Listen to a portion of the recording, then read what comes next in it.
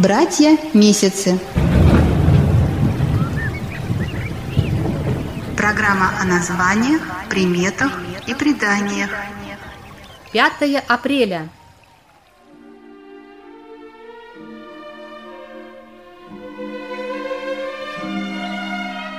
По одному из древних календарей у славян в этот период начинается или уже идет в соответствии с каледой даром День памяти предков. По народному месяцеслову Никонов день. В это время христиане чтят преподобного Никона Печерского, игумена Киево-Печерской лавры, жил в XI веке. День этот посвящен тщательной уборке, как в доме, так и в саду.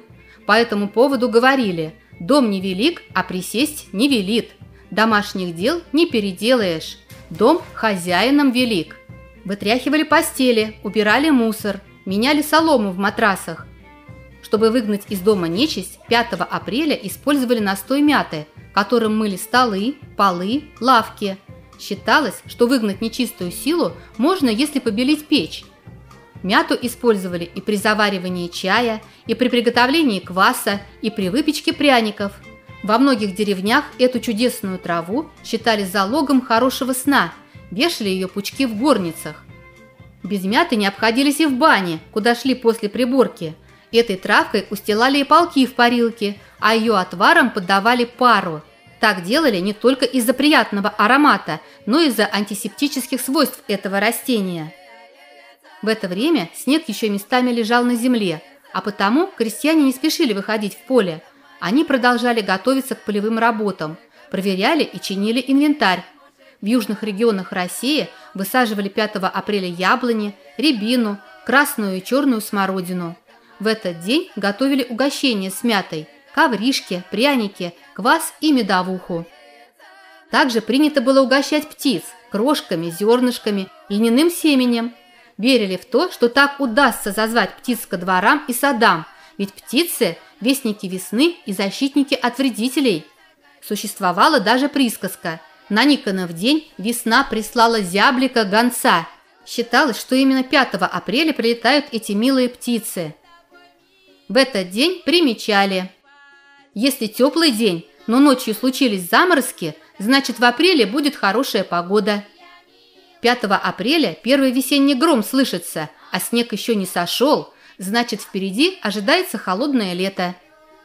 В полдень видно солнце, то лето будет очень жаркое, солнце не видно, дождливое.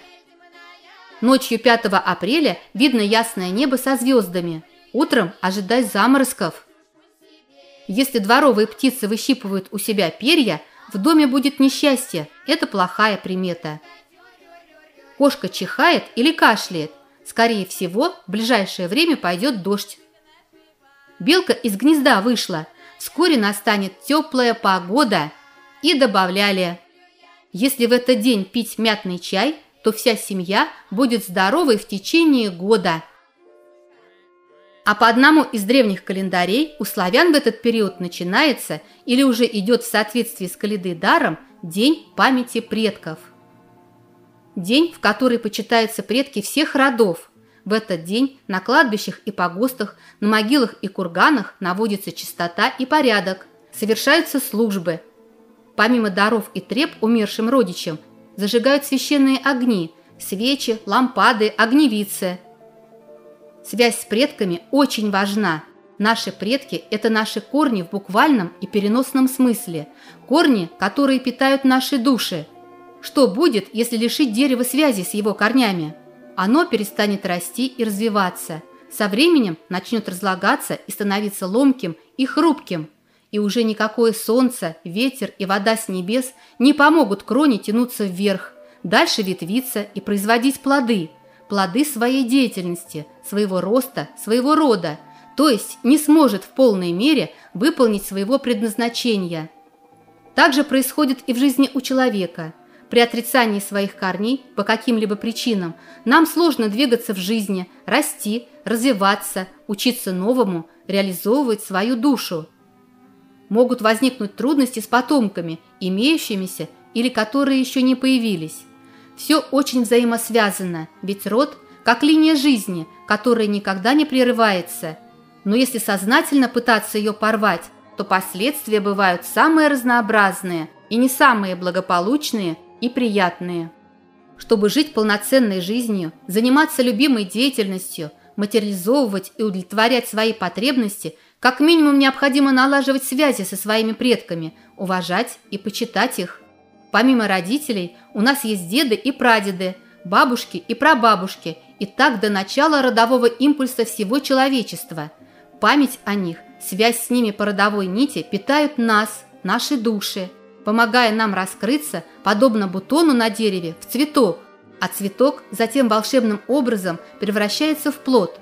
Эта же связь помогает развязывать нам наши кармические узлы.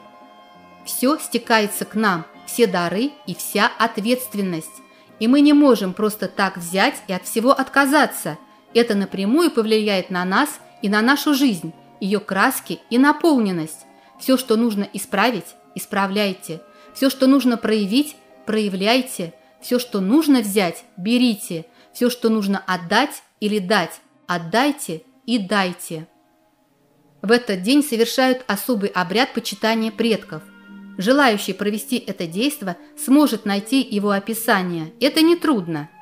После совершенного обряда всегда носите в сердце своем почитание, уважение, любовь и благодарность предкам своим, питая тем самым корни свои. Слава родам святорассы, слава богам и предкам нашим многомудрым!